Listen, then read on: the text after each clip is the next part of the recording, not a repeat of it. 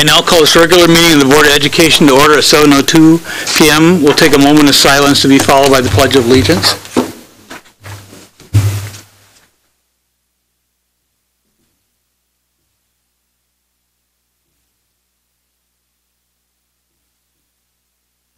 I pledge allegiance to the flag of the United States of America and to the republic for which it stands, one nation, under God, indivisible, with liberty and justice for all.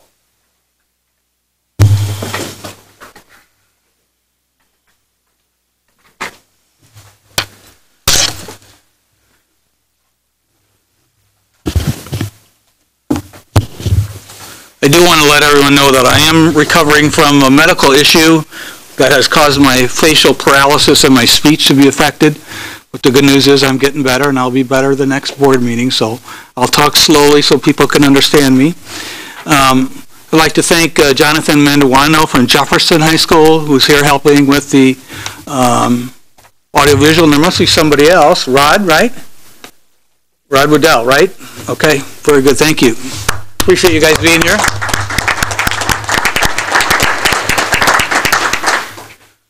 We'll have the coordinator call the roll. Ms. Jackson, Mr. Rollins. Here. Mr. Scrivano. Here. Mrs. Makulec. Here. Mr. Siegel. Here. Mr. Connor. Here. Mr. Escobedo. With five present, two absent, we have a quorum. Thank you. Um, We will recognize and celebrate outstanding contributions of our students and staff, and that will be done by Mr. Earl Dotson Jr.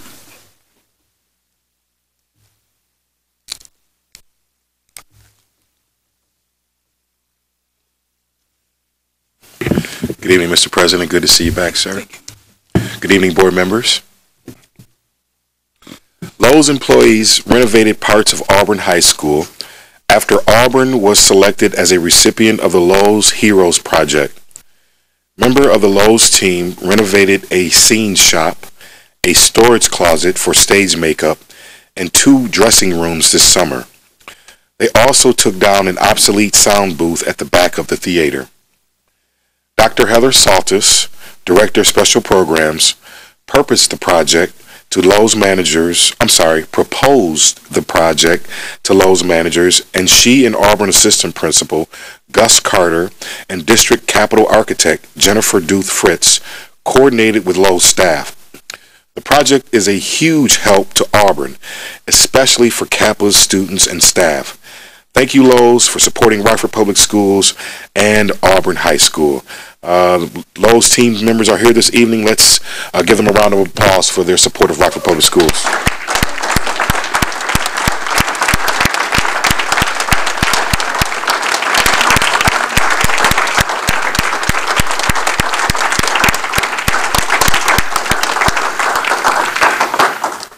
Also in the audience is uh, Principal, uh, Auburn Principal Janice Hawkins is also here. Thank you for being here, Principal Hawkins. Hello, good evening.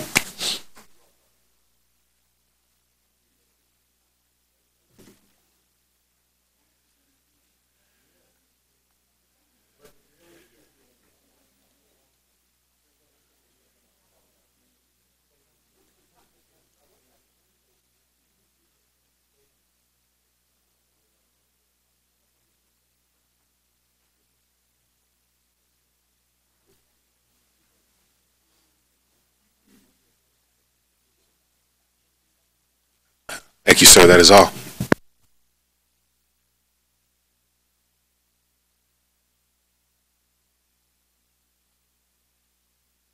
that have comments?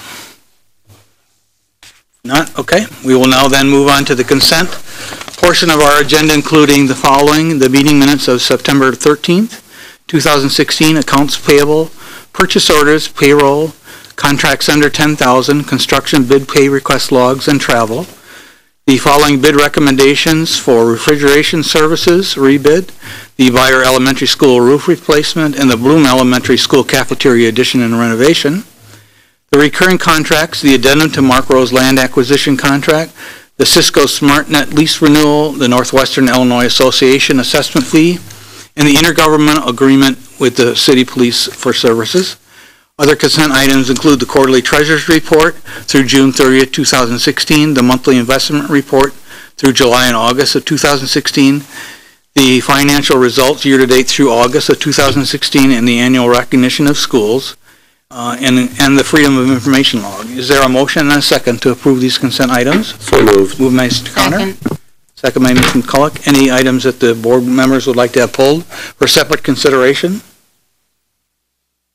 Seeing none, I'll have the coordinator then call the roll on the approval of the consent items. Ms. Jackson, Mr. Rollins, Yes. Mr. Scrivano, Yes. Mrs. Makulec, Yes. Mr. Siegel, Yes. Mr. Connor, Yes. Mr. Escobedo. With five yeses, two absent, the motion passes. Thank you. We are now at the closed session consent agenda items, including the HR organizational report and addendum, and the student discipline in which expelled or suspended students are prohibited from being on school grounds and school-sponsored activities within the prior written permission of the principal. The expulsion for student GMD 2001-16 is held in abeyance, contingent upon an expulsion and abeyance agreement for the first and second trimester of the school year, current school year. The second student was GDM 4004-17. That student is expelled for the remainder of this school year. And the following um, closed session consent items for the EIAs, these are students 3003, 5, 6, 7, 9, 11, 13, 14, 15, 16, and 12. Um, Is there a motion and a second to approve the closed session consent items? So moved. Moved by Ms. Makulec. Second. Second by Mr. Rollins. Any items that board members like to have pulled for separate consideration? Seeing none, I'll have the coordinator then call the roll on the approval of the closed session consent items. Mr. Rollins, Yes. Mr. Scrivano, Yes. Mrs. Makulec, Yes. Mr. Siegel, Yes. Mr. Connor. Abstain. With four yeses, one abstain, two absent, the motion passes. Thank you. We'll move right on to the next agenda item, which is the superintendent's report. Dr. Jarrett. In lieu of my regular comments, I would like to uh, cede my time to Bridget French, the Executive Director of Alignment Rockford. Uh, It is our intention to have Alignment Rockford uh, come at least on a quarterly basis and provide regular updates to the Board of Board of Education on the work that this organization is doing to support the strategic plan of the district. With that, I will turn it over to Bridget. Thank you. Good evening, Bridget. Good evening. Uh, Thank you so much for having me this evening. Um, As Dr. Jarrett said, I look forward to sharing an update with you uh, going forward on a quarterly basis on the progress of our teams and our work in partnership with Rockford Public Schools. Sorry.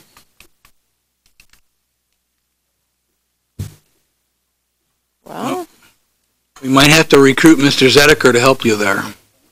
Thank you, Matt. So with the departure of David Carson, it allowed us the opportunity to um, recruit some new district leadership to some of our teams. And um, with that came an opportunity to meet with Dr. Jarrett and his cabinet and the leadership of my board, along with our team leads, to talk about um, how our work, how the work of our teams is aligning to your strategic plan. And so I'm really excited that we've been able to ensure that the work all of our teams are doing are um, very, um, very uh, connected to all of the strategies and goals of the Rockford Public Schools. So the names in red that you see there are school district administrators, um, board members, um, and then all the rest of the names are uh, community members, community leads, and our staff. So currently, we have five teams, and those are the teams that um, we reported on the last time I was here. Um, And I want to start with the Academy Expo. So the Academy Expo, as I, I assume that you know, is this coming Thursday. We're really excited. Go ahead, Matt. Um, This year, we have 2,100 students, Rockford Public School freshmen, 135 booths, um, over 700 volunteers. It's going to be um, a great day, um, as it is and has been every year. We uh, continue to get better and better each year. Go ahead. Um, To ensure that the demonstrations that our business partners are presenting are hands-on, quality demonstrations. Go ahead And uh, the Su- Superintendent Student Advisory Council, again, will be assisting with the event, providing tours and volunteering in other capacities. Our career awareness team is um, working on supporting and enhancing the uh, English Capstone 12 course. As you know, last year the course was a zero-hour course at Auburn and an elective at Roosevelt. Go ahead. This year, um, English Capstone 12 is an English elective for all of our seniors. We have approximately 120 students enrolled in the course and kicked that off with a panel of community leaders that presented the current state of their industries and talked about um, what they're facing currently in the Rockford region.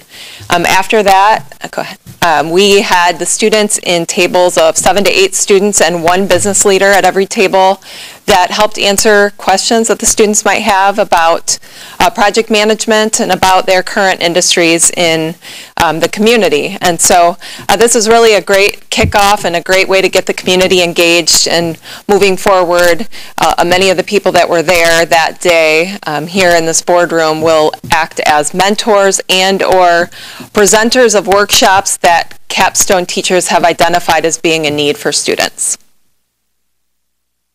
Our college readiness team has focused on a math tutoring program at Kennedy Middle School. Uh, these are the students that graduated from sixth grade last year and will be moving up to work with the same tutors that um, worked with them throughout the, uh, the school year last year. So those students will um, continue. Almost all of our, our tutors wanted to remain in the program, which I think was a testament um, to uh, their dedication and to the relationships built with the students at Kennedy Middle School. Um, next, that team will be focusing on university site visits, which is a college and career readiness benchmark for Rockford Public Schools, working with Wabongo Leadership Council in the YMCA of Rock River Valley, who already do college university site visits, working with them to enhance um, what they're already doing well and, and determining ways to partner in order to provide more university site visits to Rockford Public School students. Our Healthy Starts team has been looking at um, what are all of the things that uh, lead to a student getting to kindergarten to be kindergarten ready. And uh, we did an activity which, you know, everyone listed an item that they thought would allow a student to get to kindergarten and be socially, emotionally, academically secure. And what we found were there were hundreds of items. And so we are really taking a look at best practices around the country to figure out ways to support all of our students to ensure that they're kindergarten ready when they enter Rockford Public Schools. Um, next is our Pathways team, and that team, um, which was once the high school redesign team, continues to look at ways to support work-based learning opportunities for students. And so that team right now is looking at job shadow experiences for juniors. Um, we've worked with a, a cross-sector of Rockford Public School high school students to help um, create the best experience and outcomes for our students, and uh, did a small pilot with UTC Aerospace Systems um, in the spring of last year and are working toward um, launching that again this year for more students who are juniors um, across all high schools and in Rockford Public Schools. Um, last week, as you may have heard, we held a community of practice visit um, for three other communities that are in a grant cohort with Rockford. Um, it's the Great Lakes College and Career Partnership um, Initiative, and uh, many, many people from uh, the northwest suburbs, District 211 and 214, Madison, Wisconsin, and Columbus, Ohio, came to see what we're doing well. And um, they really said that we set the bar high, that they were really impressed with a lot of the things that, um, that we have done in partnership, um, in our partnership together, and with our high school academies model. Um, go ahead. They um, were very honest, which was part of the uh, visit, was to take a look at um, what's in our work plan for the grant that we've received. It's a $400,000 grant, um, 360,000 of it, which will go to Rockford Public Schools directly um, to support work-based learning, teaching and learning, and connected pathways.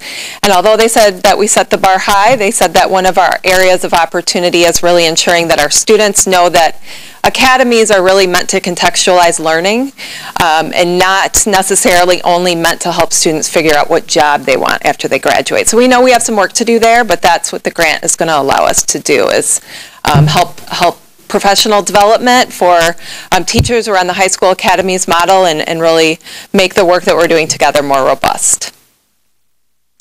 And then lastly, an exciting uh, piece of news for Rockford is that um, in the past, Alignment Nashville has held a conference for anyone in the nation that is looking to um, learn more about how alignment works with public school systems.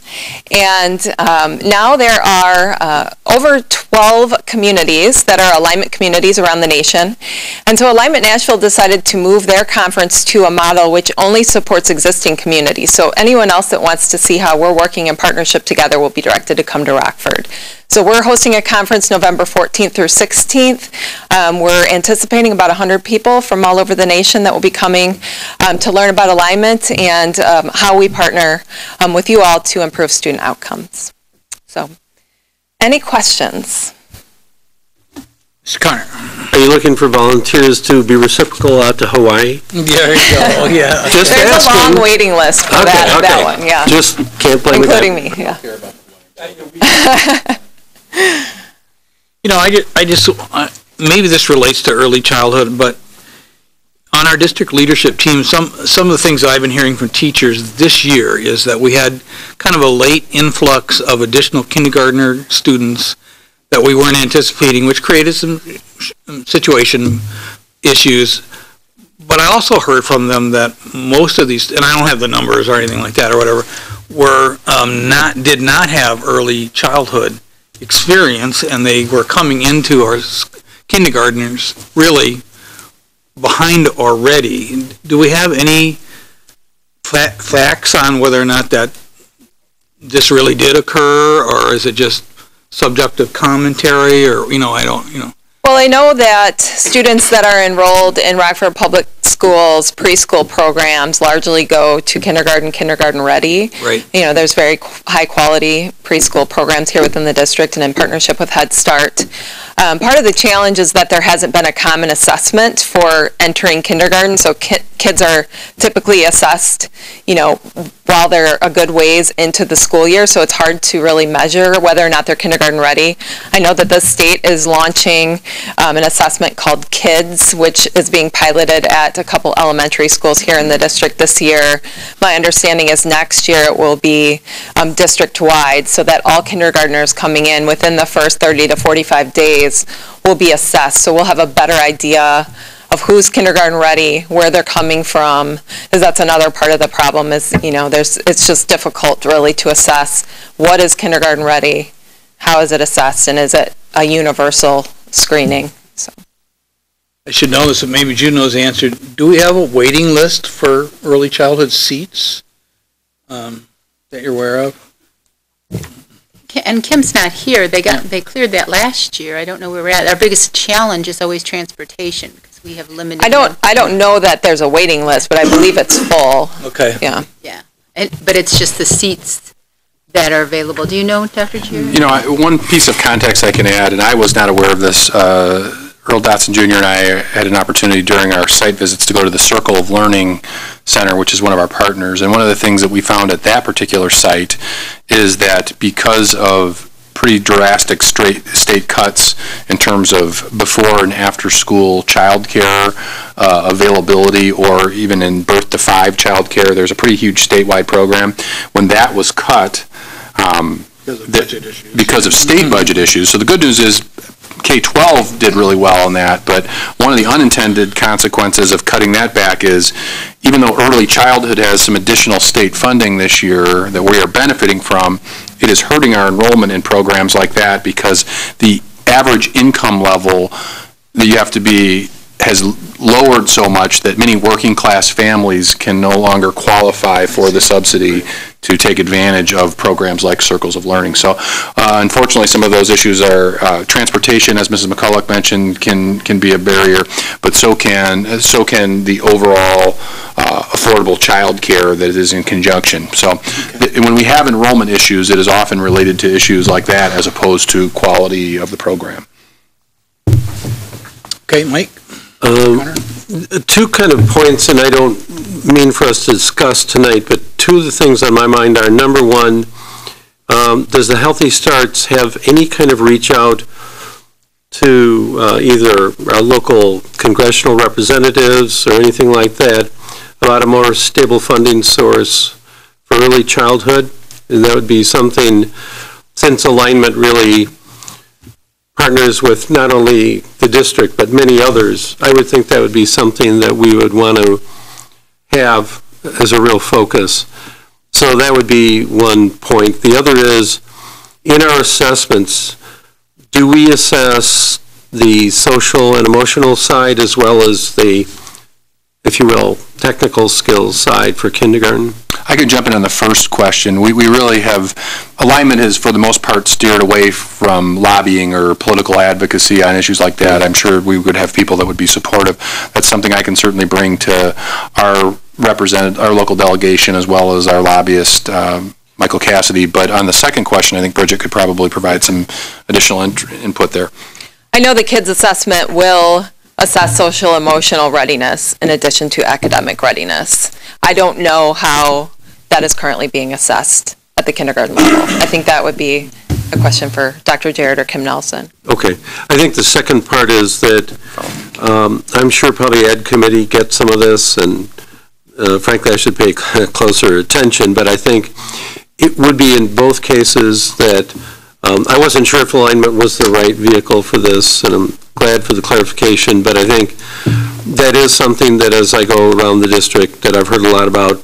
And the second part is, I have, in talking to uh, some parents and community members and even some teachers, I think one of the aspects I'd like to hear a little bit more about is the social emotional preparation for entering school. So if we could at least have a note on that, I'd appreciate it. Thank you.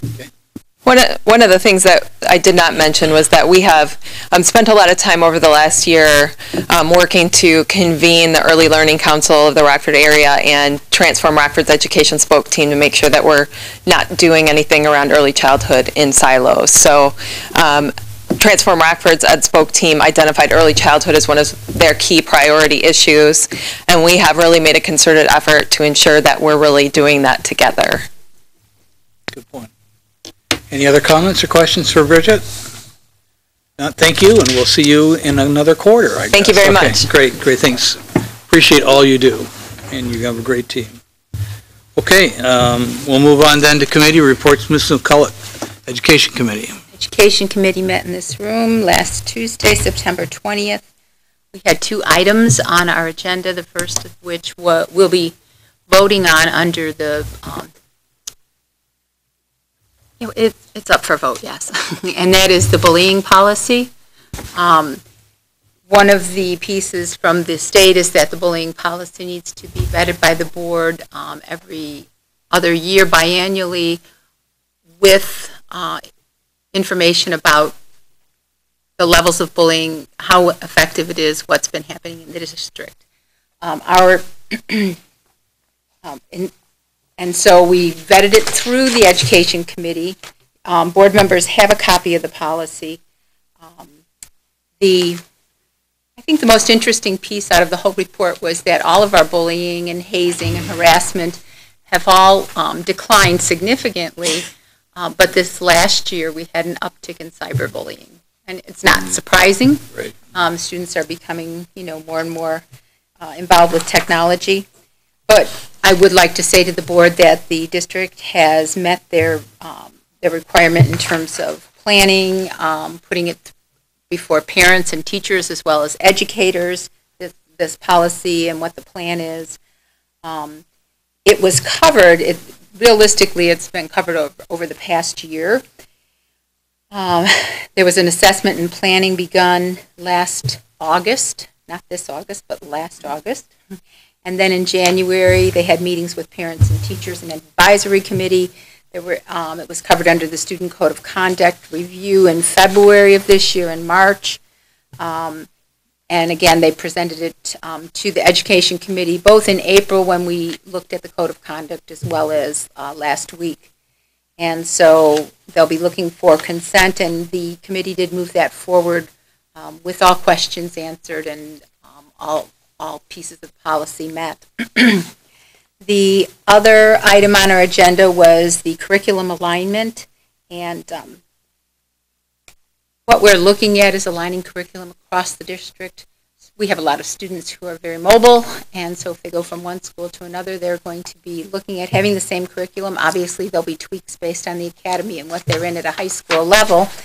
Uh, But this started, there's a five-year plan, started uh, in '15. One of the first things that they did was change instructional council so that they had um, two new, new, two new sub- subcommittees, or steering committees, I should call them, I'm sorry, curriculum and instruction and assessment. Um, They then created that five-year plan, they did an audit, and then they used a, a national document to help develop the RPS 205 Curriculum Design Process Manual, which is what they're going to use as they move forward and develop um, curriculum throughout the district. There are teams of teachers, or, or curriculum leadership teams is what they're called. They had 210 certified staff apply. Um, they had 140 placements that we're going to be doing another round, uh, or they did a second round, I'm sorry, and they placed 84 more of the applicants, and they're do- going to be coming forward to do a third round. And obviously, the need, we have so many levels between primary and secondary. The focus of this first go-around on curriculum is going to be in, in the um, language arts from grades six through eight, and in um, science, in grades nine through 12, it'll be science and social studies. Um, Along with developing the curriculum, they're developing plans for professional development, because uh, one of the concerns is making sure not just that we have a curriculum, but that, that people across the that the educators and certified staff across the district are uh, well-versed in what that is in a timely enough fashion so that they're comfortable and have the resources they need to uh, use those when the school year starts, not after. Uh, The other thing that has happened is they're looking at um, special education, bilingual, um, and how those curriculums will be modified uh, to accommodate those, those uh, populations and those classrooms. The committee meets again, Education Committee meets again in this room October 18th, which is the third Tuesday at 5:30. And that concludes my report. Mr. Rollins, Finance Committee. Finance Committee has not met since the last board meeting. We will be meeting in this room on Monday, October 3rd at 5:30 PM. Thank you. Mr. Connor, Operations.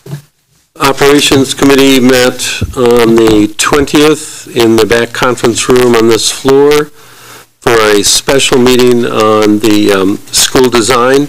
As an FYI, our next committee meeting is our regularly scheduled one, which is a week from today on October 4th, and that will be at 6:30. Um, The special meeting that was held was due to a lot of really good feedback that we got regarding um, the external options for the two new schools. And basically, the Operations Committee, thank you to all of them, uh, plus um, the administration and Cannon Design all showed up, and a lot of good discussion was had. Uh, Frankly, I am very pleased with the process on this. There was a lot of give and take, a lot of good ideas, and the result of those good ideas was consensus. Everyone in the room really got behind the notion of what they're going to present tonight, what they're calling option two.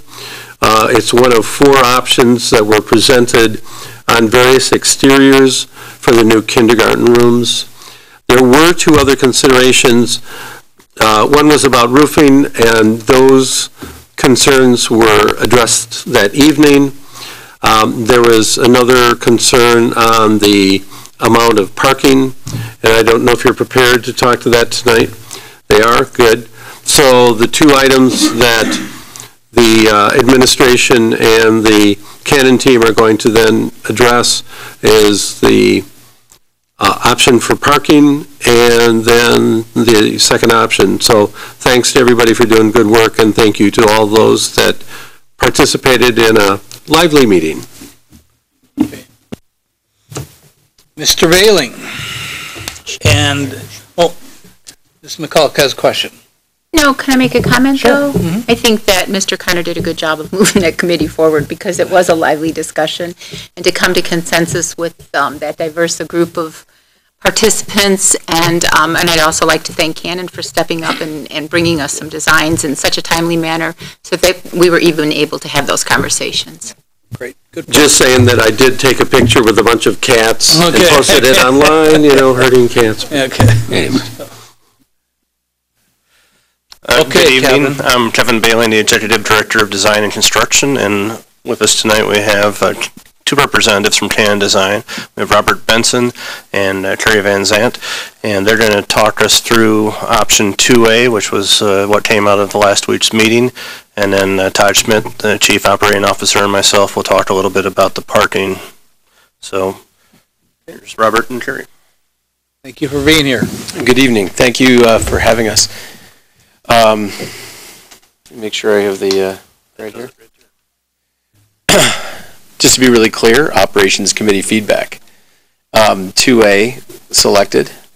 Um, Here's an entry, uh, sort of elevational perspective showing the four kindergartens.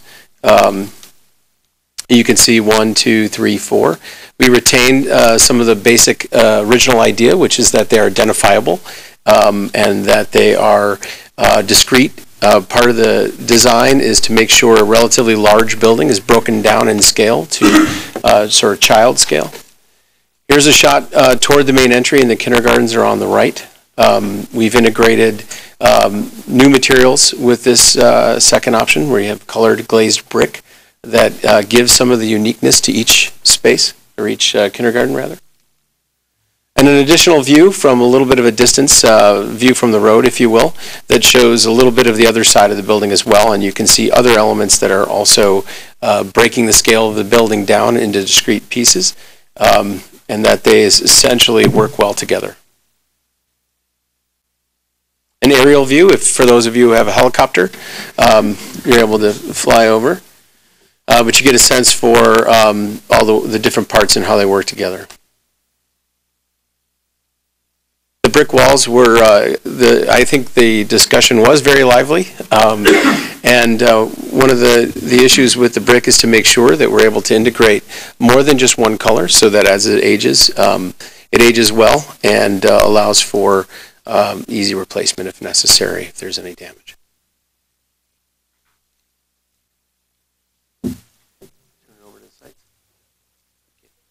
Oh, I'm sorry. Any questions on the uh, previous renderings? Mr. Connor. One technical update, you know, we do have drones now too, so. Uh, you're- you're absolutely right. Yep, just saying, The again, cost of a helicopter has come That's way right. down. that, that'll be the one hip thing I'll say all night, is I know about drones.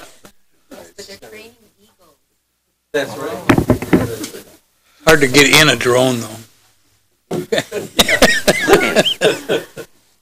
All right, so one of the other uh, questions that was, or concerns that was voiced was how many parking stalls do we have during the day and how many parents can we accommodate, or at least vehicles for after-hour functions? So the first site we're going to talk about is the site on Kishwaukee. Uh, Gregory Street is at the south.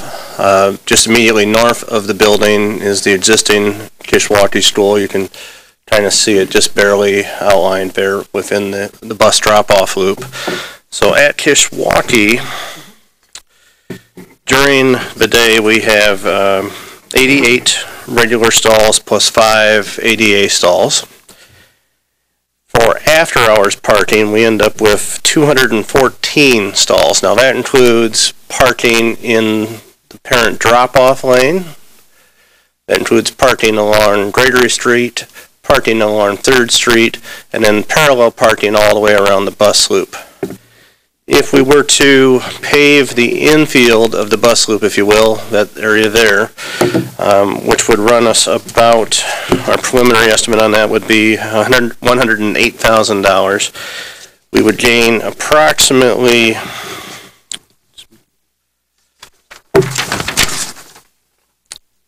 approximately 40 stalls, might be a little more, a little less. And those stalls would be just under about $3,000 apiece. Um, we're gonna have a different figure on that when we get to Cherry Valley because the, the bus loop at Cherry Valley is going to have a few more buses and it's a little bit longer east to west. So you start getting into this uh, part where it narrows down to a point, and of course you can't get too much parking in there just because of the narrowness. And if we were to do that alternate, we'd end up with about uh, approximately 260 spaces, include plus nine ADA stalls for after-hour functions. At Cherry Valley, we have an- about 94 spaces during the day, which is this front parking lot, it's all together, plus four ADA stalls. We would have after hours, which would include parking parallel all the way around the bus loop and some, about eight more cars in front of the building in the drop-off lane. Keep in mind, there's a full 24-foot wide lane between the parallel, or the, yeah, the parallel parking here and the, uh, the angled parking rather, and the parallel parking, so there'd be no hazard with someone pulling out of these parallel stalls and hitting a car if it's parked up against the curb there. Plus, we could fit about another 21 cars comfortably on the shoulder on the access road. That would give us 171 spaces plus four ADA stalls. If we were to pave the infield, that would get us up to 254 stalls plus nine ADA. Those would be just under $1,600 a stall, and the total cost, the additional cost for the loop would be about $138,000 to pave the infield, if you will. Uh, Again, we can get quite a few more stalls. If you just look at the relative shape there, the uh, Kishwaukee, due to having to get back to the existing stoplight on Kishwaukee, um, has to come back rather quickly as, whereas on uh, Kishwaukee, we've got a pretty wide piece of pavement here still. But if at, or Cherry Valley, excuse me, at Kishwaukee, we have to get narrowed back down almost at the east end, end of the building there as well. So, um, so we intend to run a, an alternate bid to pave those infields at both, uh, schools and see how it comes out. Can, Mr. Sure. Uh, Let me ask a question. So if you pave the infield, so to speak, um, you don't lose that second round, um, you still can parallel park both sides? How, do- how do they access it? Do they kind of pull in in the stall? There's a, Yeah, basically, you'd have to use a different color of striping for after hours. You wouldn't be able to park anyone there during bus uh, drop-off or bus pickup. We'd have to keep that totally separate. We'd probably consider putting a gate here to limit access during the school day, but then for after hours, you'd have a different color of striping, and you'd basically have, you'd be able to drive down about where my pointer is and have parallel parking on both sides, turn around and come back with parallel parking on both sides. so there'll still be some sort of curb that separates the areas? Only on uh, Kishwaukee will we have a curb on the outside of the bus loop. At Cherry Valley, we don't have a a zoning ordinance that requires us to put curb and gutter in. We'll be sheet draining things at this site. I mean, because if there's not a curb, a gate doesn't do anything, right? You can just. Well, Yeah, I suppose someone could. Um, someone could drive around, but I don't anticipate it during the day there would be a problem with people wanting to go park there. And is it real, it must be real well lit at night so people know where those are. Yes, we are, uh, under each of these alternates, we're adding somewhere between three and five light So poles. you were going to- to add lights as well. Right now, there are lights around the perimeter of the bus loop. And when you add additional hardscape like that, what does that do to our drainage? There any, Uh, they ran the numbers, and at Cherry Valley, we can absorb it, if you will, literally into the detention area that we already have. Uh, and at Kishwaukee, um, we're blessed in that we have so much hard surface between the streets that we're removing, the parking lot, the existing Kishwaukee, the roof of Kishwaukee, all the driveways, all the garages, all the houses, that we are probably going to have more impervious surface with the new site layout than what we presently have. Therefore, we're not adding to the uh, stormwater runoff problem, we're actually probably making it better. So we don't have to put any uh, detention in. So okay, they did, they did that analysis Yes. as well. And so those figures you gave us, the 103 and 138 were, um, did not include the lighting? that did include the lighting, yes. It did? Yes. Thank you. Yeah, you're welcome. Mr. Rollins? So is, is there a consensus that there is a shortage of parking, or there's a parking issue? Are there any standards as far as how many parking spaces? Todd did some research, so I'll let him address that. You know, there's no. We asked those questions, didn't we? Standards we have, um, give a couple of the newer schools that we've built. Barbour has about seventy-five stalls. Talked with the principal today. Um, they've had no issues or no complaints with parking for after-school events. Um, they do park a little bit, uh, in the neighborhood, mostly kind of like what you would have at Kishwaukee. We really don't have that over at Cherry Valley. Uh, talked to Ellis today. Ellis has, I looked at buildings that are comparable in size. Barbour has a little over seven hundred students. Ellis was designed for seven hundred plus students. Uh, they have 110, 111 stalls. They said they never had any issues with after-school parking. Um, you go on the flip side, talk to like Froberg. Froberg has about seventy to eighty stalls where we're a little bit limited on there, so, um, some of their events, they do park across the street at the church, um, just because that's what they need to do. Um, so it's all over the place. You got, um, uh, Whitehead, which has eighty stalls during the day, but they got the large play area up top where we have the bus loop and all that, and so they park out there, so that brings up to about another seventy-five stalls out there, so. Um, as we look at it, um, that's how we, kind of why we designed it like this, that if we felt that later on that we do need additional parking, we can put the parking in the bus loop. Um, we can always run that as an alternate to see where we're at, um, when everything comes out there. Um, you know, we, we do have some other areas as we get in there. We can't tell you how many people are gonna come to the school after our events. I mean, I, I, I just can't. Uh, we can base it off of some of the other schools, but, you know, we, we're not sure. So as we come out there, both of these plans leave for some additional accommodations later on of some unforeseen parking needs that we may need. But initially, we have it in here. Uh, Kevin said we had, you know, a hundred and what, sixty some total. And if we can, we can add this and get this up over two hundred. So, um, I can't really tell, but, you know, for instance, when I was at my kids' parent orientation out at Marshall, um, the parking was probably inadequate, so people just parked in the grass. So that probably happens once a year, maybe. So if you're talking about a once-a-year problem, are, are there opportunities at these sites where people can just park in the, gr- in the grass? That actually will be grass on the infield. Initially, that's what we'll start off with. And obviously, that'll be fine, un- you know, unless it snows. Depends on how rainy, rainy it Yeah. is. Yeah, so, or early spring when it's raining or something like that. So, yes, that is a, you know, we have that even at some of our high schools and the stadiums. They park on the grass when we have those big football games and we're packed. So. Okay. I, I just want the administration to keep in mind that it's not just the initial cost, but anything that gets paved has to be maintained. So the more asphalt you have, the more you're gonna have to maintain that asphalt in the future, so just keep that in mind. Yeah, and we have this, where, where you have this, if we designed this and just left it at grass, it's easy for us to just come back in there and then core it out and pave it too. So, just an option. Yeah, my two questions were about safety of having a paved infield around a bus loop and how do you prevent accidents from happening? And the second part was, at the Kishwaukee site, you mentioned two public streets. I don't know how accessible parking is at night. I mean, would most of the residents to be parking there in that area or? Well, what we're looking at is parking along the perimeter of our property here. So this will be our Not whole close to site, too many homes, in other words. Just on our Right. side of the street. Yeah. just on our side of the street. Okay, all right, okay. Good point, okay.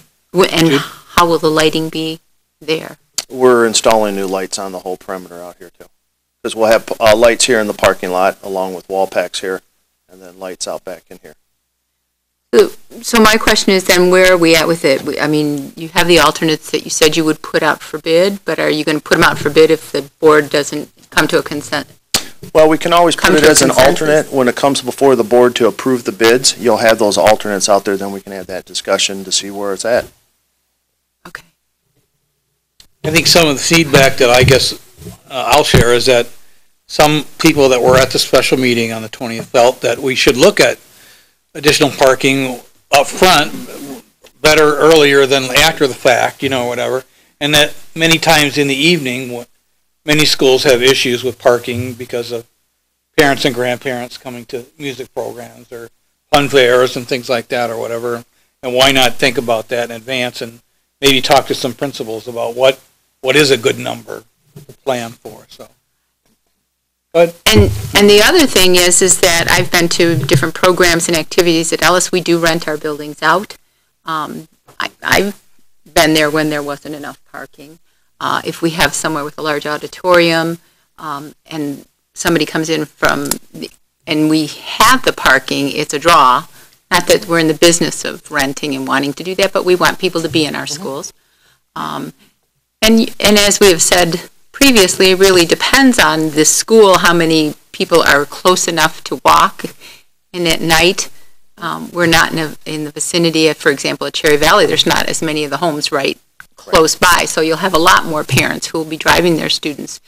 Um, well, at least that was the expectation. I, I would think there'd still be a lot driving from the, the Kish area because that's, pr- that'll be a pretty big zone once you increase the size of the, Yes. the population of the school and combine the other two. It was great that you got back to us. And one other issue that was brought up at the meeting was um, radiant ice melt on the front entrances of the building, so. Oh, heated sidewalks, yes. Heated, si- Okay. heated sidewalks for just the front entrance right there.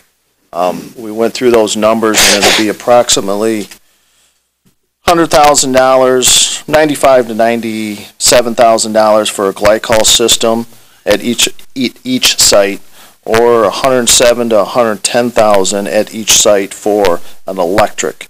Now, that's just covering this front entrance here at both of the buildings. It's not covering anything else, it's just this area right here. Just the main plaza. Um, we told them that we would get some estimate cost from there. Cannon gave us some cost for it, so that's why we're just presenting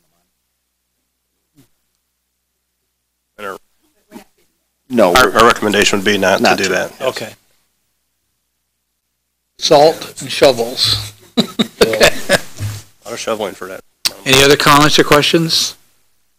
So this will be presented in as, a- as an alternative, the parking Correct. in the bid. All yes. right. And we're pretty much moving forward with bid documents based off of, uh, Okay. Operations Committee and tonight. Great. Thank you very much. Okay. Thank you. No, it's just, Okay, we'll move on to our action items then. First action item is the staff rehab contract for social workers. Is there, um, mo- motion and a second to approve that contract? So moved. Moved by Mr. Rollins, Second. Second. second by Mr. Siegel. Any questions or discussion? Now, now the coordinator call the roll on the approval of the staff rehab contract. for Mr. workers. Sc- oh, excuse me. Mr. Scrivano? Yes. Mrs. McCulloch? Yes. Mr. Siegel? Yes. Mr. Connor? Yes. Mr. Rollins? Yes. The motion passes with five yeses, two absent. Our next item is the contract with the College Board for SAT Suite Services presented by Dr. Wolf. Is there a motion and a second? So moved. Moved by Mr. Connor, Second. second by Mr. Rollins. Any questions or discussion? Seeing none, can I have the coordinator call the roll? Mrs. McCulloch? Yes.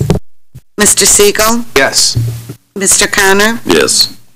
Mr. Rollins? Yes. Mr. Scrivano? Yes. The motion passes with five yeses, two absent. Our next action item is the contract with Fierce Conversations for Services and Products presented by Dr. Wolf. Is there a motion and a second for that? So moved. Second by Mr. Connor, second by Mr. Rollins. Any questions or discussion? None, have the coordinator call the roll. Mr. Siegel? Yes. Mr. Connor? Yes. Mr. Rollins? Yes. Yes. Mr. Mr. Scrivano? Yes. Mrs. McCulloch? Yes. The motion passes with five yeses, two absent. Uh, Our next action item is the TSA Consulting Group Administrative Services Agreement. There's a motion for that. So moved. Moved by Mr. Second. Connor. Second? Somebody? Mr. Rollins, okay. Any questions or discussion? None, have the coordinator call the roll on the approval of this item. Mr. Connor? Yes. Mr. Allen? Yes. Mr. Scrivano? Yes. Mrs. McCulloch? Yes. Mr. Siegel? Yes. The motion passes with five yeses, two absent. The next action item is the uh, Larson and Darby recommendation on the approval for the contract for theatrical rigging and stage um, curtain design. So moved. Second. Any question or discussion? Have the coordinator call the roll? Mr. Rollins? Yes. Mr. Scrivano? Yes. Mrs. McCulloch? Yes. Mr. Siegel? Yes. Mr. Connor? Yes. The motion passes with five yeses, two absent. Our next item, uh, we have six items related to uh, real estate. Uh, Any objection to doing those together? All right. Take a motion then to approve items 16F through 16K. So moved. Second. Moved by Mr. Rollins, second by Mr. Connor. Any questions or discussion? The coordinator call the roll on the approval of the six real estate purchase items. Mr. Scrivano? Yes. Mrs. McCulloch? Yes. Mr. Siegel? Yes. Mr. Connor? Yes. Mr. Rollins? Yes. The motion passes with five yeses, two absent. Thank you. Our ne- our next item is the uh, uh, approval of the board policy 7.180, which is the uh, student preventing bullying, intimidation, harassment that Mr. McCulloch talked about. Is there a motion and a second to approve that? So moved. Second. Moved by Mr. Connor, second by Mr. Rollins. Any questions or discussion? Nope. Have the coordinator call the roll? Mrs. McCulloch? Yes. Mr. Siegel? Yes. Mr. Connor? Yes. Mr. Rollins? Yes. Mr. Scrivano? Yes. The motion passes with five yeses, two absent. Thank you. We're now on to new business, and Ms. Besonen will do the first one on board policy 4.80, operational services. Mary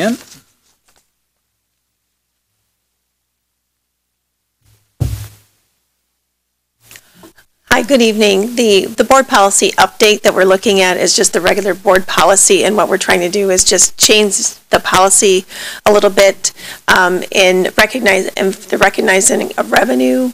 Currently, excuse me, currently, how the board recognizes revenue for state money is anything that we do a claim for, that money is recognized in one cycle, and the way we recognize the money from the state, which I would call um, the, um, I want to call it, the entitlement money, that's, that's, that's uh, recognized a different way. So what we're trying to do is just mirror the two. So we're just really trying to change the policy for a 90-day recognition so that the way we recognize the revenue for both types of state money is the same. That's really what the, the, the change in the policy is looking to do.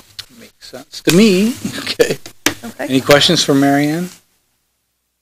Okay, this will come to the board for approval at our October 11th meeting. Thank you. Uh, Our next item is the real estate purchase for 703 Kishwaukee Street. Mr. Schmidt. Mr. Scrivano, can we take the whole vote here? Oh, Uh, that's true. Except for just this one, because I'm asking for suspension of the rules on this first one. Okay. Administration is requesting the board to suspend the rules for action item 17B. Is there a motion to do that? So moved. Second. Second, moved by Mr. Connor, second by Mr. Rollins. Um, Any questions or discussion? Now I'll have the coordinator call the roll on the approval to suspend the rules. Mr. Siegel? Yes. Mr. Connor? Yes. Mr. Rollins? Yes. Mr. Scrivano? Yes. Mrs. McCulloch? Yes. The motion passes with five yeses, two absent. I think I need a motion in a second now to approve the real estate purchase at 7th So Street. moved. Moved by Mr. Connor, Second. second by Mr. Rollins. Questions or discussion? Please call the roll. Mr. Connor? Yes. Mr. Rollins? Yes. Mr. Scrivano? Yes. Mrs. McCulloch? Yes. Mr. Siegel? Yes. The motion passes with five yeses, two absent. Okay, now you have the floor, sir. Um, For the rest of these items, for item C, D, E, no, C and D are for land acquisition at Kishwaukee. E, F, G are for land acquisition at Lincoln Middle School for the green space. Um, H is for a property that, um, over by West Middle School on the corner of Custer and Rockton, where we're looking at acquiring that property uh, for safety and security reasons. And then I and J are also for Kishwaukee. Those are two eminent domains for uh, property that we're unable to negotiate a, a price with the current landowner. Okay. Any questions for Mr. Schmidt? Not, these items will then come to the board on October 11th for approval. Uh, any other new business for tonight? If not, I'll entertain a motion to adjourn. So moved. 7:57, is there a second? All those in favor say aye. Aye. Pose same sign, we are adjourned at 7:57. And have me comment. I know, I know. That's the four, that's like the four-minute mile. I know. You know what the problem is? It only slows us down. I know, that's what Tom just, uh,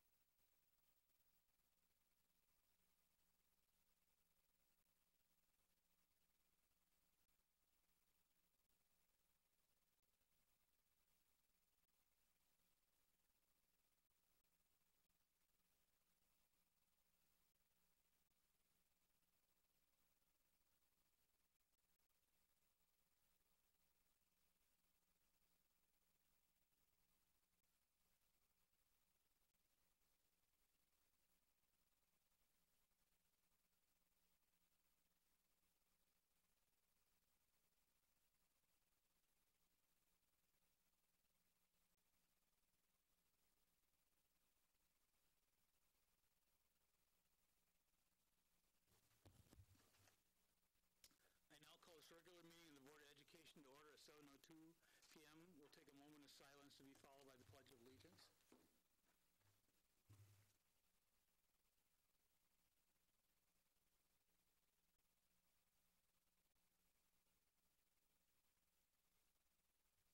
I pledge allegiance to the flag of the United States of America and to the republic for which it stands, one nation, under God, indivisible, with liberty and justice for all.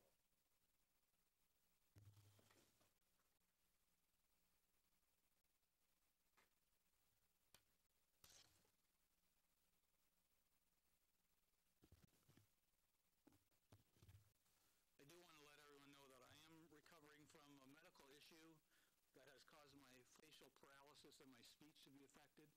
But the good news is I'm getting better and I'll be better the next board meeting, so I'll talk slowly so people can understand me.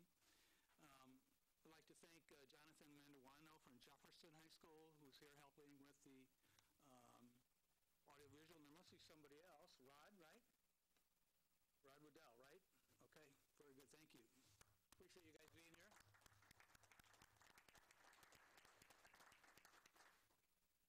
We'll have the coordinator call the roll.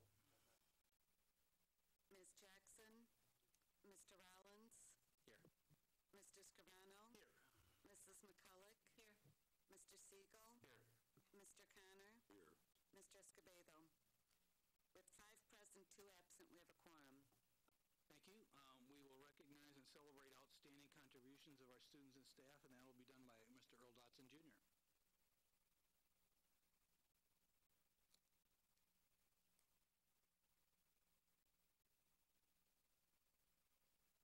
Good evening, Mr. President. Good to see you back, sir. Good evening, board members. Lowe's employees renovated parts of Auburn High School after Auburn was selected as a recipient of the Lowe's Heroes Project. Member of the Lowe's team renovated a scene shop, a storage closet for stage makeup, and two dressing rooms this summer. They also took down an obsolete sound booth at the back of the theater. Dr. Heather Saltis, Director of Special Programs, purposed the project to Lowe's managers, I'm sorry, proposed the project Lowe's managers, and she and Auburn Assistant Principal Gus Carter and District Capital Architect Jennifer Duth Fritz coordinated with Lowe's staff. The project is a huge help to Auburn, especially for campus students and staff. Thank you, Lowe's, for supporting Rockford Public Schools and Auburn High School. Uh, Lowe's team members are here this evening. Let's uh, give them a round of applause for their support of Rockford Public Schools.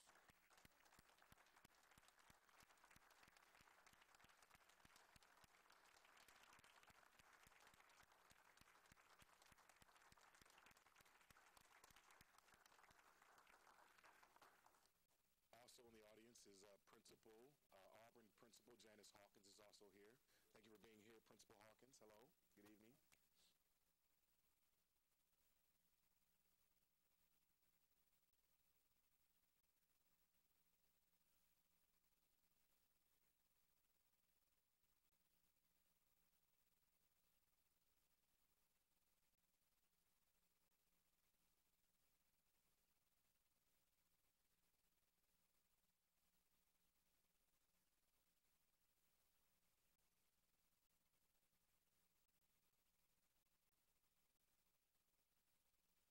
Thank you, sir. That is all.